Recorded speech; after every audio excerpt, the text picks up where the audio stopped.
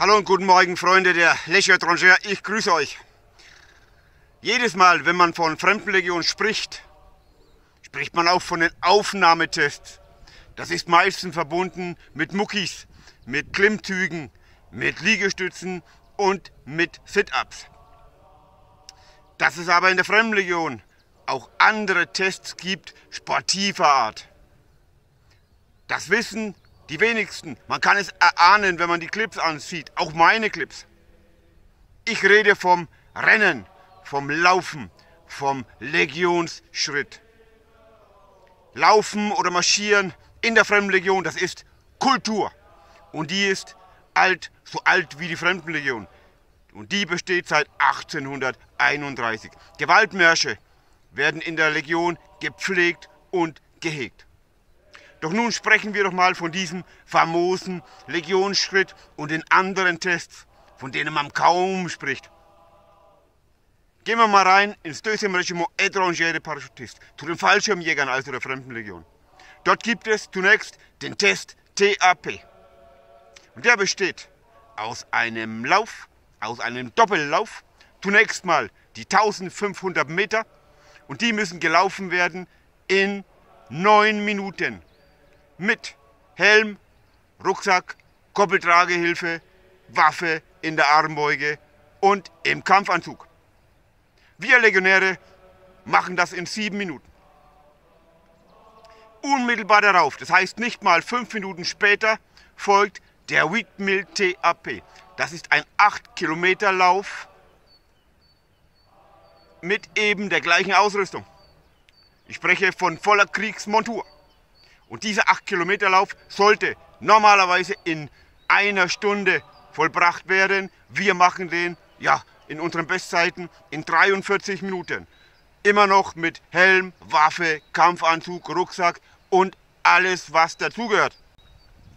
Bei diesen kleinen Distanzen, das sind kleine Distanzen, eineinhalb Kilometer und acht Kilometer, wird der Legionssprit, wie eine, einige Einheiten ihn anwenden, nicht angewandt. Aber wenn es dann reingeht bei Karrierelehrgängen, wie zum Beispiel das CM1, der Unteroffizierslehrgang, dort muss man nämlich die 15 Kilometer TAP machen. Das heißt 15 Kilometer Lauf Gewaltmarsch. Und dort wird er angewandt, der famose Legionssprit. Das heißt 100 Doppelschritte normal laufen, gefolgt von 50 Doppelschritt im Laufschritt. Man kann da gut variieren. Man kann machen 100, 100, 50, 50 oder 50, 100. 100 Meter rennen, was das Zeug hält und dann zurückverfallen in einen ganz normalen Marsch.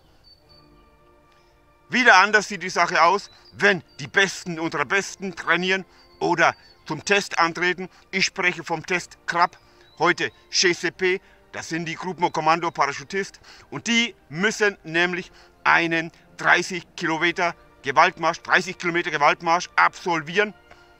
Und zwar eben in Kriegsmontur und das Ganze in vier Stunden. Die Männer unserer GCP machen das ganz locker und flockig in drei Stunden, 30 Kilometer laufen im Legionssprit. 100, 100, 100, 100 oder eben 150 oder 50, 50.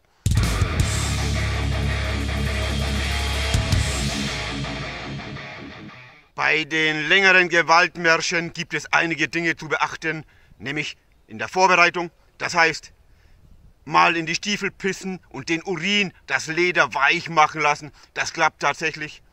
Viele von uns laufen ohne Strümpfe, ohne Socken, weil, damit sich das Leder sauber an die Füße anschmiegen kann.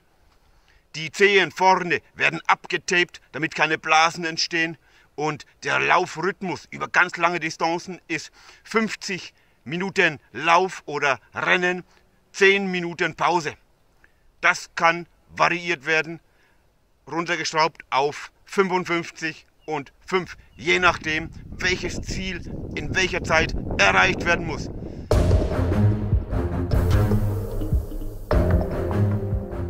Wenn die Fremdenlegion zu einem Gewaltmarsch antritt, meist machen wir das in Afrika, dann gibt es einige Details, die man rigoros anwendet oder verfolgt oder durchführt, Das ist zum Beispiel die Tatsache, dass der Legionärschritt eben auf Ebene, auf flachem Gelände angewöhnt wird, eins zu eins. Wenn es bergab geht, wird immer gerannt, immer Laufschritt. Wenn es bergauf geht, wird immer stramm marschiert. Die 15 Kilometer Läufe bei den Unteroffizierslehrgang, ich habe selbst zwölf Stück davon absolviert. Jedes Mal ist nach so einem Lauf der Rücken offen, das Duschen macht nicht unbedingt Spaß. Diese 15 Kilometer mit vollem Gepäck, mit Kriegsmontur, mit Waffe und Helm auf der Nuss, das legen wir zurück in einer Stunde und 25 Minuten. Und das sind schon Zeiten, wo man sagen kann, Hut ab, Kameraden.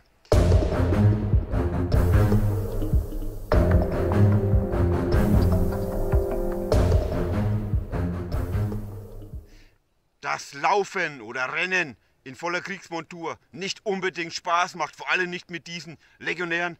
Das haben auch die Navy SEALs im Jahr 1986 mitbekommen, als wir nämlich bei den SEALs waren, Manöver mit ihnen durchführten und mit ihnen trainierten. Ich kann mich an eine Szene erinnern, wo wir früh antraten zum 10 Kilometer Run, Legionsrun wir hatten die Navy Seals dazu eingeladen. Ja, was soll ich sagen? Nach 5, 6 Kilometern war von den Navy Seals nichts mehr zu sehen.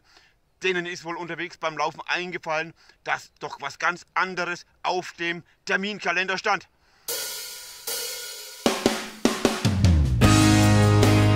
Liebe Abonnenten, liebe Freunde, Kameraden der Legion étrangère, danke für Ihre Aufmerksamkeit. Wir sehen uns bald wieder. Amitié Legionnaire, euer Thomas Gast.